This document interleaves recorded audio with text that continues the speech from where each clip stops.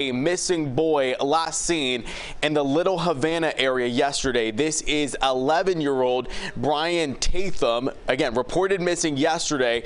He has brown hair, brown eyes, last seen wearing a red hoodie, a purple polo, khaki pants with black shoes. Police say he also may have been riding a green bicycle. If you know anything, give police a call.